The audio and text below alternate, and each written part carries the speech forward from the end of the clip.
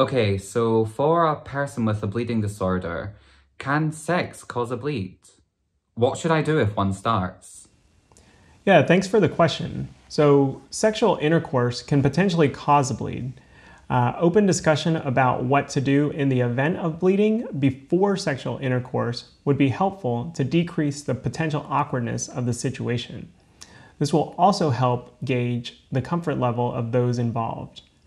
For the receiving partner, if the vagina or anus is not lubricated or stretched properly, this can potentially lead to easier bleeding.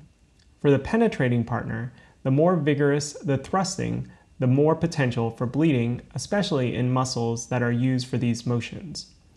Caution should be taken for the penetrating partner as well, as penile fractures can also occur if the penis is bent in the wrong direction. So, if I feel a bleed coming on, is it okay for us to have sex anyway? During sexual intercourse, you would theoretically have an adrenaline rush, which can mask pain and discomfort. Depending on where you and your partner are in climaxing, treating a bleed shortly after you've both climaxed would be reasonable if not too severe. However, if the pain is severe enough for you to recognize despite the adrenaline rush, then it could be a major bleed and it would be recommended to stop and treat sooner rather than later.